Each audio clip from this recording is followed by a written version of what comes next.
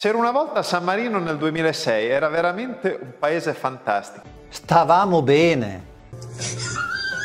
Però ricordiamoci cos'era San Marino in quegli anni perché a volte siamo un po' smemorati.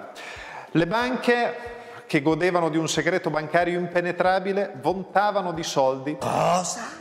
E pensavano bene di impiegarli senza garanzia agli amici degli amici o per gonfiare il mercato immobiliare. I politici vendevano le licenze, c'era proprio un tariffario. Delicatissimi. Che poi abbiamo scoperto nelle carte del conto Mazzini erano tutte tangenti. Un cittadino voleva sbloccare un lotto, andava dal politico, bastava garantirgli il voto e il lotto veniva sbloccato. Ma coglioni! Questo ha portato tutta la speculazione sul territorio di quegli anni passati. Il bilancio dello Stato vontava di denari perché le banche potevano garantire entrate senza sosta.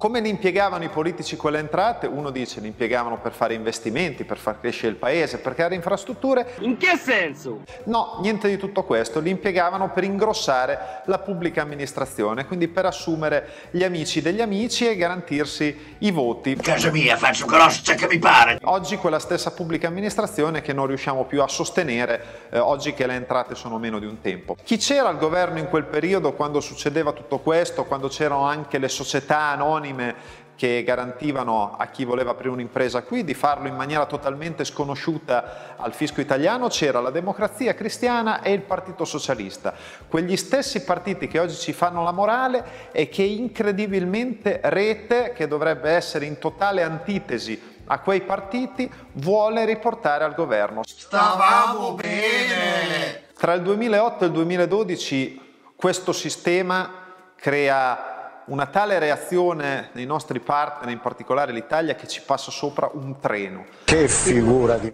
merda. Arrestati i vertici di alcune delle principali banche sammarinesi. Procedura rafforzata in Moneval, quindi diventiamo paese non affidabile sul fronte antiriciclaggio. Blacklist italiana, quindi embargo per le nostre imprese, impossibilità di lavorare con l'Italia.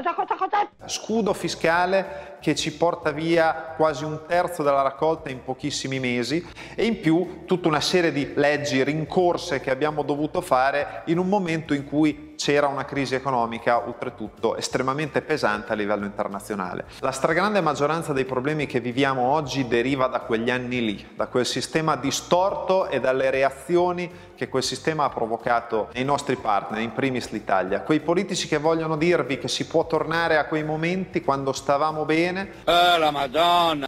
O mentono, quindi vi stanno prendendo in giro, o peggio, sono interessati a far ritornare un sistema truffaldino e completamente, ripeto, insostenibile. No, no.